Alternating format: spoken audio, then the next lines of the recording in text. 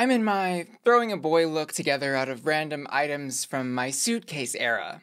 Hi, Ugly. It's me, Bro Seeking, and welcome back to Hot or Rot. And today we're going to be reviewing the drag and drama of RuPaul's Drag Race Season 15, reunited. All 16 of our season 15 cast members gathered together one last time to discuss Golden Boots, do a little losers bracket reading challenge, discuss unresolved conflict from the season between queens like Loosey and Luxx. So we'll be breaking all that down as well as hot or rotting their looks as we go through each queen and taking a look at some drama that bubbled up over the past week involving the ongoing feud between Trinity the Tuck and Luxx Noir London, an interview where Princess Poppy talks about wanting to fade into obscurity and explaining what was going on between Bob and Mistress Isabelle Brooks and the diss tracks they dropped for each other just a couple days ago. Plus digging through all the tweets from the queens concerning what they really thought about their reunion appearance. So buckle up, because first up we're getting teleported to Mars with Irene Dubois. And she, in this reunion, is in her screen time era, which she's not afraid to admit, and honestly props to her for speaking up as much as she did and really grabbing the camera's focus. Like for example, Irene calling out Salina for having a fake accent, to which Salina replies, okay white girl, and this moment is kind of brushed under the rug. Like, there was no further conflict there, but it was clear Salina was bothered. And I was mostly just confused by this, but someone on Reddit apparently dug up this video of Salina from several years ago where she's speaking without her signature Salina EsTities accent. I started doing drag because my best friend decided to like you know, do drag as a career, and he started out at Project Drag two seasons ago, Marta Beat You. And honestly, I don't really know what to make of this. I mean, I guess Tatianna is forever right. What you see isn't always the truth, but like, drag is drag, and drag is fake. Like, this compared to like what I look like as Bussy Queen, I mean, completely different people. And, you know, it's not a total stretch of the imagination to imagine that your created character speaks a little bit differently than you might speak out of drag. Plus, it does seem these two were able to work out their dispute sometime after the reunion. A Twitter user wrote addressing Irene, Irene, I've had enough, shut up. You want TV time so bad, where Irene replied, I'm sorry. They asked me to add more comments during the breaks. And this same user responded to Irene, writing, but commenting to a POC queen about an accent, that's not a good look. Irene then wrote, I don't disagree. And Malaysia Babydoll Foxx later chimed into this thread writing her and Salina discussed it off camera and all as well. Enjoy the reunion, my love. And then near the end of the reunion, Irene leaves Mistress and Loosey gagging a little bit for sure. Rue asks them if they have anything else they want to get off their chests, and Irene brings up to Mistress that she wants to know the truth about what Mistress told her Irene concerning what Loosey LaDuca had told Mistress about Irene. Oh, say that to them fast. Apparently Mistress had told Irene that Loosey told Mistress that it didn't look like Irene had fillers, but rather the opposite and that her face was sagging. And Loosey confirms right then and there that she absolutely did not say that. But Mistress doesn't admit to anything either and instead says that she's a lot of things, but not a liar. So I guess the jury is like still out on this one, but um, this cast absolutely needed somebody like Irene to keep the bigger personalities in check throughout the season. I'll just say that. And her look is absolutely matching the fierceness of her wit tonight. She's giving us a monochromatic white look that is maybe in a silicone or PVC that's been, I would guess, 3D printed here to create all of those spiky pieces and texture all up and down her entire outfit. She 100% is giving that evil supervillain from some alien planet touchdown to rage you to filth. And she'd do it before you even knew what happened to you. This look is absolutely 5 out of 5 hot flames. And next up, are you browsing the internet without a VPN? Don't worry, I've got you covered with today's video sponsor and award-winning virtual private network, Surfshark. Download Surfshark VPN using the link in the description of this video. Then, with just a click, connect to any one of their over 3,200 secure servers around the globe. When using Surfshark VPN, your internet browsing traffic becomes anonymous, encrypted, and private. And I love using Surfshark because they make the internet browsing experience so much easier with features like their clean web ad and pop-up blockers, which can even get rid of those annoying cookie questions you see all the time. And Surfshark can even keep you safe proactively, giving you helpful notifications when they notice you're visiting a website which may have been a recent victim of a data breach. And my all-time favorite Surfshark use case, unlocking geo-restricted content. With just one click, I can surf on over to Argentina and enjoy every single season of RuPaul's Drag Race and Untucked. But best of all, you can use Surfshark on all of your devices with unlimited device login. Plus, there's no risk in just trying it out because Surfshark offers a 30-day money-back guarantee. Click the link in the description of my video video to get Surfshark today. And make sure to use code BUZZY during checkout to get 83% off and 3 extra months of Surfshark for free. Thanks Surfshark for sponsoring today's video and keeping my browsing experience safe, secure, and and next up, Bible Girl walked so Princess Poppy could run. She's quitting drag on the big screen, and we're welcome. And before we talk about her time in the reunion, I want to give some context to her little intro line about quitting drag that you can find in a podcast and article written by Joey Nolfi over on the Entertainment Weekly website. They did an exclusive interview with Princess Poppy, who, for the most part, since season 15, has disappeared. But in the article, we learned the reason why is she, quote, wants to take a step back from drag for the foreseeable future. She said, said, I want to fall off the face of the planet. I don't want to be famous. I want to fade into obscurity. And she goes on to talk about how people put too much emphasis on fame and its relation to success, and ultimately says she plans to do her drag con appearance and then take her step back after that. But if I were a betting woman, I would place a bet that she probably is going to reconsider after she sees how positively this reunion appearance was received. She's wearing a look recreating the iconic, now iconic, Rebecca Glasscock entrance look from season one of RuPaul's Drag Race. And like, no, this isn't a good look or fashionable look, but this is 100% drag. Drag is like an art that constantly references itself and other pieces of pop culture, and considering the ironic importancy of the Rebecca Glasscock entrance look and what it meant looking back for the franchise, uh, this is a great look. Plus, it's a total middle finger to the giant industrial machine that Drag Race has become, demanding these queens wear couture garments all the time. I love it, and this look is absolutely hot. And the other interesting thing about this look is that the concept may have been borrowed. Denali actually had tweeted back at the end of February that if her tweet got 10,000 likes, her entrance look when she went back on Drag Race would be Rebecca Glasscock's iconic entrance entrance look. And Denali apparently noticed this, but wasn't at all bothered. She tweeted out, well, I'll be damned after the reunion aired. And then in reply, a Twitter user said that Poppy took the idea from Denali, but Denali wrote, no, I fully support this very iconic behavior. She also had a great read for Loosey LaDuca when she said, the rumors are true. I did give someone COVID. That's why all season long, Loosey LaDuca had no taste. That was good. And if you were confused about why she said this or what rumors she was referring to, the gist of it is she had at Roscoe's viewing party alluded to the fact that she may have been COVID positive when she was supposed to start filming for the show, but got around the requirements of testing by putting chapstick up her nose, which she later clarifies on Twitter didn't actually work for the test that Drag Race gave her, and ultimately went through quite the ordeal apparently with doctors and the Drag Race team to make sure she wasn't actually positive. So considering all that, I'll let y'all debate in the comments below whether her read and joke about the chapstick and such were made in good taste. Next up, who has her baby? Anetra, apparently. The only thing that Mistress didn't steal from the set. Um, Amethyst did not have a lot of screen time in this reunion, and I wasn't sure originally if her parts had got edited out in favor of some of the higher placing queens, or she didn't say very much, but Luxx Noir London did clarify on Twitter that we, quote, have to stop blaming production for everything. LMAO, the girls who weren't talking literally just weren't talking. But Amethyst seemed to disagree with this sentiment from Luxx and wrote this on Twitter. It's really disappointing to me that in a two hour special dedicated to a cast of 16 queens, they could only find time to ask me about a hookup I had a couple years ago that no one cares about. When I was barely being addressed, about 20% of what I said made the final edit. Once again, nothing about my music, nothing about my lip syncs, nothing about my drag journey. The issue isn't that I was, quote, just sitting there, because it's hard to compete with a handful of voices that are always speaking. The issue is that I wasn't being addressed, period. So that's that, but concerning her look, she says she doesn't stir the pot, she lights it on fire. Wink, wink. And this look is like a gray and black dress, flowy dress, bodysuit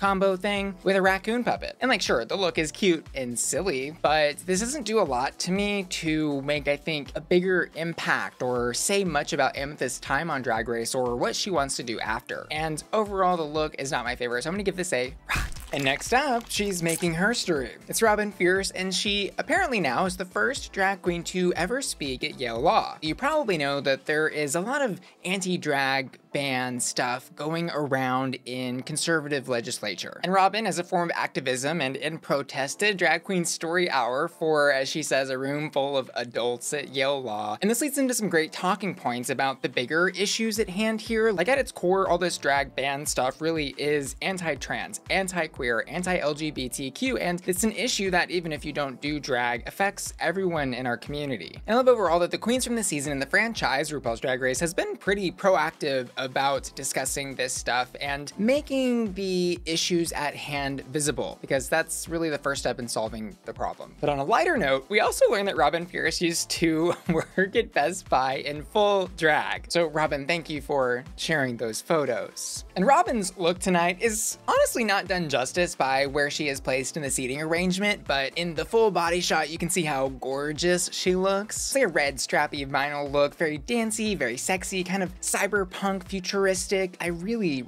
love that she is showing off her full body. She says she actually didn't pad for this look, and she made the look from head to toe. She looks fierce, and this look is.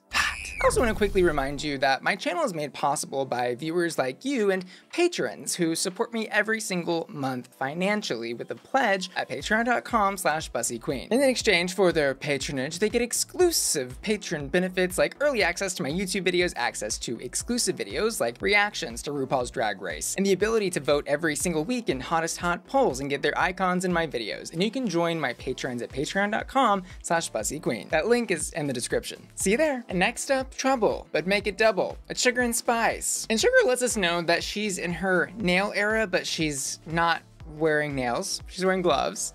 And honestly, it was a little difficult to pin down these two's contribution to the reunion other than they made their presence known and I had a good time with them. Because most of what they were saying was just so true to their bubbly, airheaded characters. And like at one point, RuPaul even asked Spice if she was speaking English. Their looks though are absolutely what dreams were made of. They're giving a Lizzie McGuire movie fantasy, like that in shot with green and blue looks, but all done up in Princess Eleganza. And I love that they were just seated front and center because they just absolutely, I think, were some some of the most polished and stunning looks tonight at the reunion. I just want to say these were great reunion looks because I think they 100% exemplified who the twins are as drag queens. Like they were even holding their little dolls the entire time. Totes iconic. And the looks are great references, talking points, and I'm sure will pay them dividends for years. These looks were hot. Next up, we notably learn she is getting married. It's Aura Mayari. Hopefully she is able to break the announcing your romantic partnership on Drag Race and it not ending well curse though.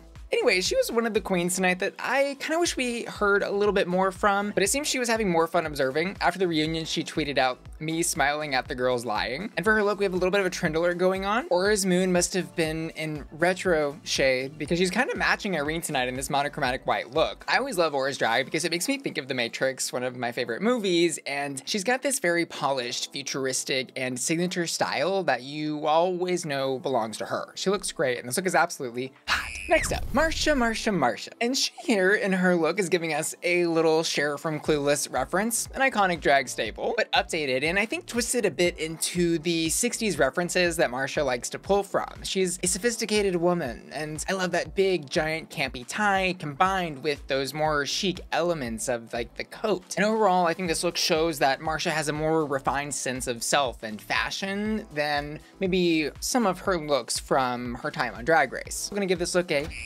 and she did also announce during the reunion and on Twitter that she is launching a makeup line. Her makeup line apparently includes three different flavors of chapstick. Who would have thunk it? Who would have thunk? Next up, we have Malaysia Babydoll Foxx revisiting Metalgate with RuPaul during the reunion. This was, you'll remember, when during a spicy Untucked moment, Malaysia ended up saying that Luxx and Mistress were bullies, and Malaysia here lets us know that she totally regrets calling the queens bullies, and the Drag Race Twitter also tweeted out the quote from Malaysia where she said, my biggest regret was calling them bullies, they are far from that. And Mistress quote tweeted this, writing, I love you, Foxy doll, that's my sister, even when we wanted each other out. And concerning her look, no surprise, she's giving us some gorgeous, gorgeous, gorgeous gown glamour, complete with some crazy pink stoned cat ears. Those things look so cute and pretty. I don't know, I think there was like some Sailor Moon character with these ears uh, on, I don't know their name. This was like a deep memory that she's unlocking for me, but this look is hot.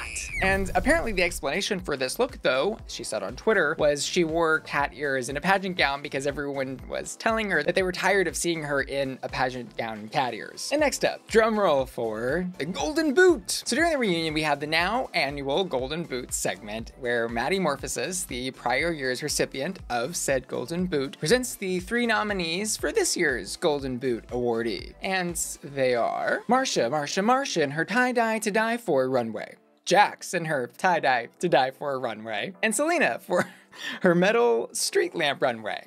Have y'all seen the photos of all the different queens wearing Salina's street lamp on their head?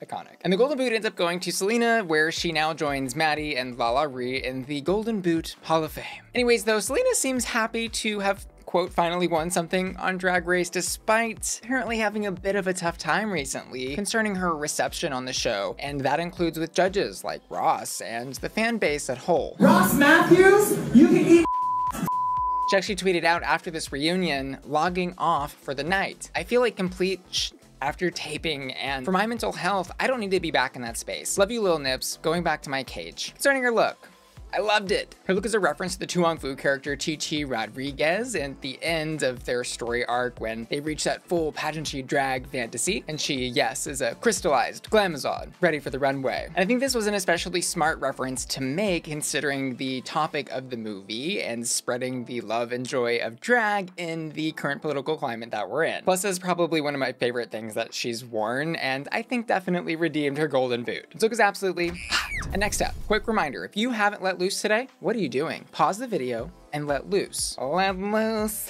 Anyways, Loosey's segment in the reunion starts off with a cameo from Kevin Bacon, and after that, Rue highlights how viral Loosey's Let Loose song has gotten recently, and Sugar asks us all to consider the international implications of letting loose, something scientists are reportedly still working on feverishly. Anyways, concerning Loosey's look, she's giving us a more realized Loosey LaDuca. Her hair is big and kind of tapping into, I think, that classic drag glamour that we see Mistress's hair often exist in. And her look is made up of loud colors, pink, yellow, and stark white with a cape and a really pretty collar. And overall, what I loved most was how balanced her look was. When you look at it from head to toe as a silhouette. And I think this look is and next up, one of the fiercest performers of this entire cast, Jax. So she didn't get a ton of screen time tonight, except when she got her snake look booted by a lot of the girls in the cast, and when she was highlighted for being nominated for the Golden Boot. And I'll say, even though some of her looks may not have been amazing, I think she did always look put together, and her look tonight is fully evolved Jax. I love that giant beehive hair she's got going on, and like the black and chocolate shades of crushed velvet, in the look, it's very regal and understated, but so glamorous. And I think with this look, it's obvious Jax is working on redefining her look and drag overall, and this looks absolutely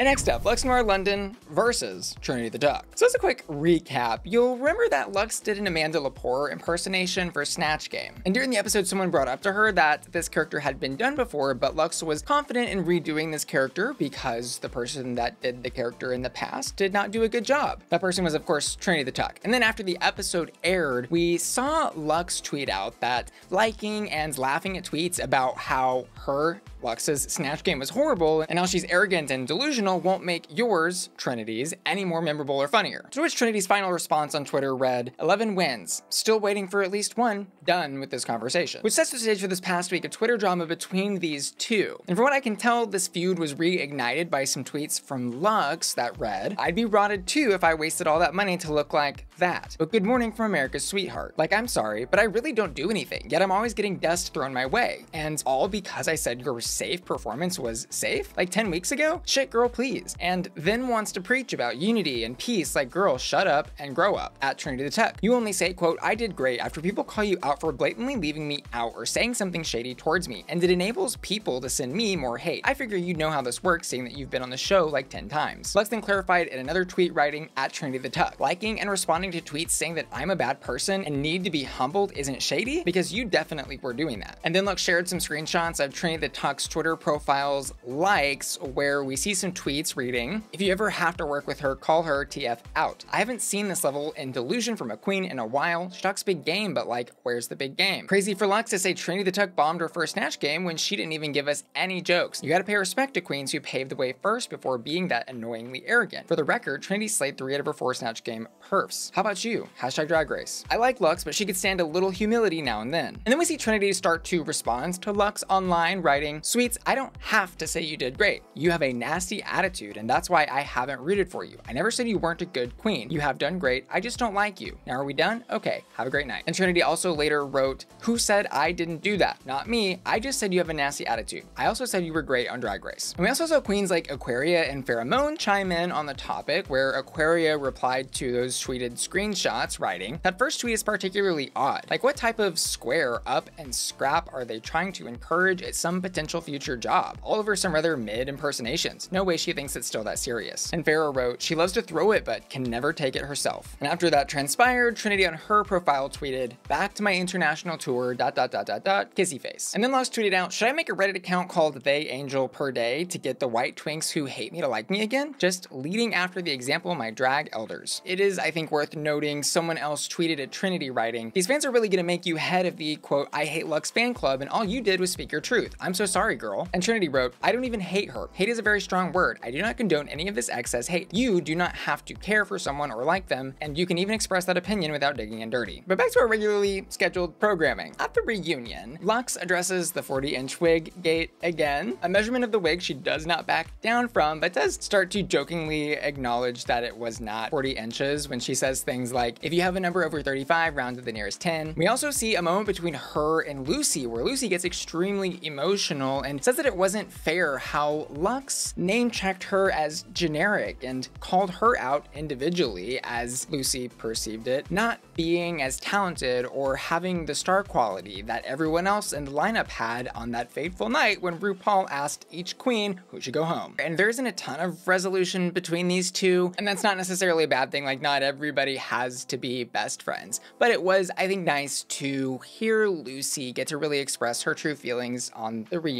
stage. But concerning Luxx's look, her eternal confidence continues. She's wearing this really gorgeous pink dress that's a little slouchy, but very structured, asymmetrical, tight-fitting, and there's a little bow in her hair because she's just so cute. I think she looks absolutely gorgeous in this. She's very much giving me like young rich socialite meets housewife vibes. She's pretty in pink and this look is absolutely hot. Next up, Mistress Isabelle Brooks versus Bob the Drag Queen. So you may have seen some tweets and some diss tracks dropped throughout the interwebs between these two this week, but spoiler alert, it is all in jest. And this all started earlier this week when Mistress tweeted out that it was quote on site for Bob, referencing how Mistress doesn't like how Bob treats Monet on the Sibling Rivalry podcast. So tired of you gaslighting and bullying queens like Monét X Change, and I, well, you've met your match today drop that Addy. And then Bob tweeted out a picture of the twins from The Shining, writing me and Selena waiting to destroy you and Monet. Followed up with, if I wake up and this retweet has 15,000 likes, I'm dropping the Mistress Isabelle Brooks diss track. And then that tweet did get the 15,000 likes, so Bob tweeted, okay, y'all asked for it. Mistress and I have agreed to drop our tracks on April 6th at 6 p.m. Pacific. And true to their promises, these two did drop their separate diss tracks on their YouTube channels. You can go listen to them. I've linked them in the description of this video. And I would be curious to know, who do you think won won in this diss track extravaganza. Aside from the fake drama between Mistress and Bob, though, we did see Mistress acknowledge tons of real or show drama between queens on the show during the reunion. We've already talked about most of what she said, but this must have been 50% Mistress Isabelle Brooks talking to RuPaul and making him giggle. And her look, true to Mistress, is super gorgeous, high drag, glamorous, but also has this kind of casual element to it with that hat and the chain that I really love, and that purple color is super regal. And I also love that she was able to serve a look that was 100% true to her drag, yet also new and unique for her, and that she didn't necessarily need to do a silly or funny pop culture reference because she is the pop culture reference. This look is hot. And next up, Rue predicts that walking that duck will make her a millionaire. It's Anetra. And wow, you want to talk about almost no camera time? Almost no camera time. But this was very true to who we know Anetra to be, quiet, reserved, and lets her talent do the talking. Rue does get out of her though that her talent show was apparently the first time that she combined her martial arts and voguing or voguish skills, she calls them. And RuPaul even brought up all the online drama that's been going on surrounding Anetra with the voguing and nogging situation. You know, we have seen all season long queens like Aja come for her for nogging, and even people from the legendary franchise call her out. I like though that Anetra was clearly not bothered by her being called out for all of this and remained confident in her answer and stance on the subject. Voguish or vogue or voguing or nogging or not, I was entertained. Her look though tonight didn't really do it for me as much as some of her really phenomenal looks have. She's giving us like a pink t-shirt dress with harness straps covered in spikes, and that's all complete with like black sleeves and gloves and boots. And it definitely reads as Anetra with the spiky and sharp detailing, but something about this isn't feeling super cohesive to me, especially with that very refined, coiffed, and stoned kind of pageanty hair paired with the more casualness of the look. So I'm gonna give this look a soft and finally, she's still your favorite drag queen's favorite drag queen. Ru spends a whole segment talking about how he realized during this season how talented and amazing and perfect and beautiful and never been done before and flawless that Sasha Colby is. And there were several times during this season where RuPaul asked Sasha, like, have you done acting before? Have you done interviewing before? Have you done music videos before? And what I think everyone watching and RuPaul herself took away from this season was that Sasha was just a natural talent at everything she does. And her look here tonight is gorgeous, a flawless victory. It's effortless in a way I think that only Sasha Colby beauty can be. She took something simple like a sheer dancy bodysuit and turned it into like crystallized gown dripping from the front and the back, and it's just absolutely gorgeous. This look is absolutely hot. And as far as hottest hats go for the reunion looks, I'm gonna give it to Sugar and Spice combined. I also asked my patrons to vote on their hottest hots this weekend. They voted for Irene Dubois. And finally, I wanna say thanks so much to you for watching today's video, and I wanna give an extra special shout out to Ashley Brungart, Daniel Sendez, Felicia, Frankie, Jeffrey, Callan730, Laura, The Set, Louis Labrador, Ruff, Matthew Burns, Matto, Panda Kitty, Sailor, Stephen Topher, Tyler Hendricks MD, Really, and Will and Tanner, who are all supported me at the Bussy Queen Collector tier over at patreon.com. Love ya. Bye.